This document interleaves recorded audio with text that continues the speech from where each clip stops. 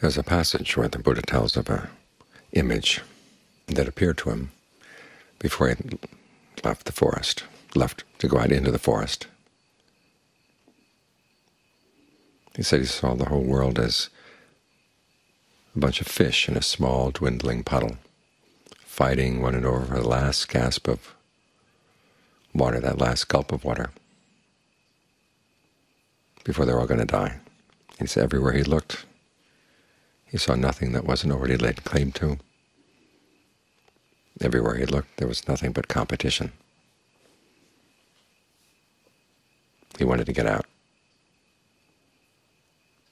That image describes the feeling It's called samvega, a sense of dismay over the way life is lived, and an urgency to want to get, get out of that way. But it's also a useful image to hold in mind when you're thinking of spreading thoughts of goodwill. Goodwill is one of the guardian meditations in the sense that it guards you from your own defilements. But it's also nourishment. And the image is useful, both to warn you of how to guard yourself and also how to gain nourishment from goodwill.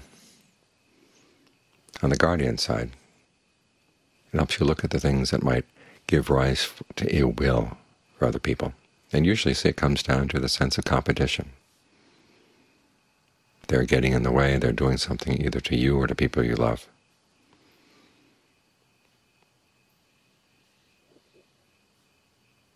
And there's a sense that you're being violated by their actions.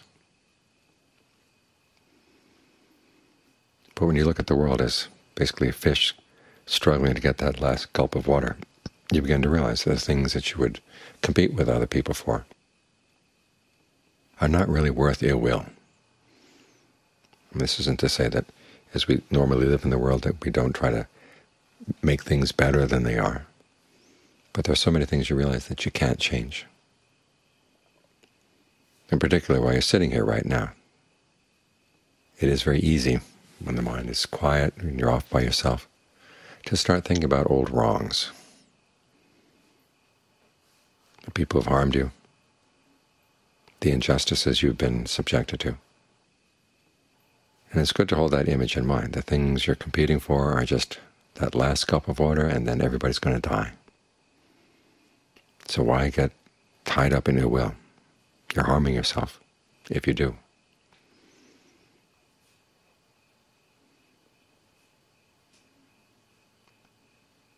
So that's the guardian side. As for the nourishing side of goodwill, you realize that the happiness you're looking for now as you meditate is not in competition with anybody at all.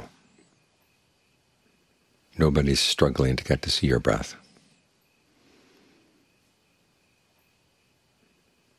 You're not fighting with anyone else as you're trying to get the mind to settle down. It's all internal. You're not harming anyone. You can take joy in that fact. This is one of the reasons why the Buddha talks about practicing goodwill, as in the sutta we chanted just now. It has to be based on a life that's a life of virtue, a life where you keep your senses under control. Or as he says, keep your senses calm. In other words, you're not constantly looking for the newest flashy object. We're trying to listen to them. For things that are attractive. You realize that your true happiness comes from within. You don't have to keep searching outside, because the more you're searching outside, the more you're going to get into conflict with other people.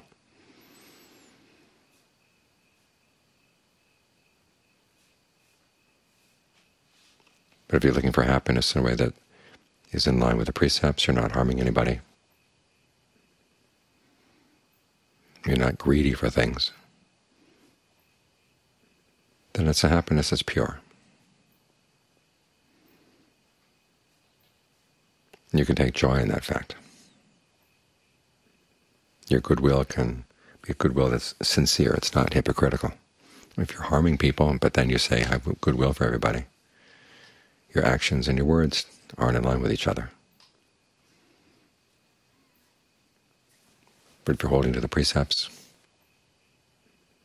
and finding your happiness in ways that are in line with the precepts, you can take joy in the fact that you're not harming anyone, no one's competing with you for your happiness.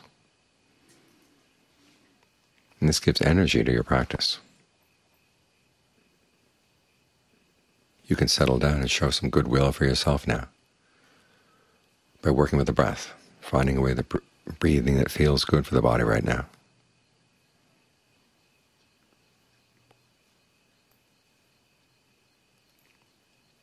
That's goodwill for yourself. But you realize that if you can find this sense of well-being inside, you're going to be less hungry for things outside. So you're increasing your ability to find happiness in a way that doesn't get into any conflict, that doesn't cause any laying of claim. You don't have to push every anybody out of something they've already laid claim to. So it's good to have a sense as you're spreading goodwill to develop a sense of samvega to go along with it. That makes it a lot easier to step back from the things that you would normally want to fight over and say, no, I don't need to fight over that. I don't have to have ill will for the people who are trying to take that, because I don't need that. I've got something better inside. There's a whole range of potentials inside that once they're developed can provide you with happiness that's much better than anything you can find outside.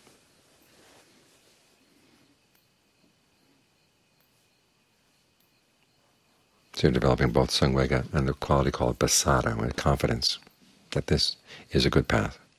And as you actually see yourself practicing and realizing, look, this doesn't get into conflict with anybody, it becomes more than just confidence. It becomes something you really know.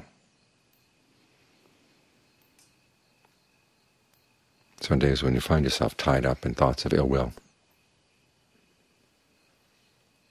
think about that image of the fish.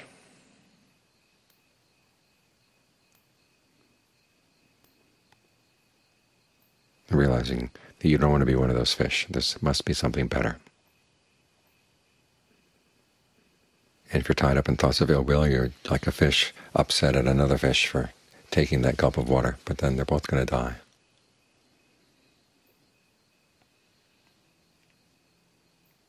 And so you can let go of your ill will out of a sense of samvega and of goodwill instead. Goodwill doesn't mean that you have to like people. And you're not thinking that goodwill is a magic cloud that's going to spread out and make everybody happy. You simply want people to find true happiness, to understand the way to find true happiness, and to actually have the willingness and strength to do that.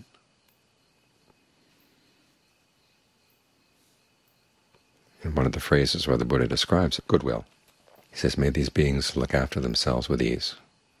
You're not necessarily saying you're going to be there for them. You're hoping they're there for themselves. In line with that principle that happiness comes from our actions.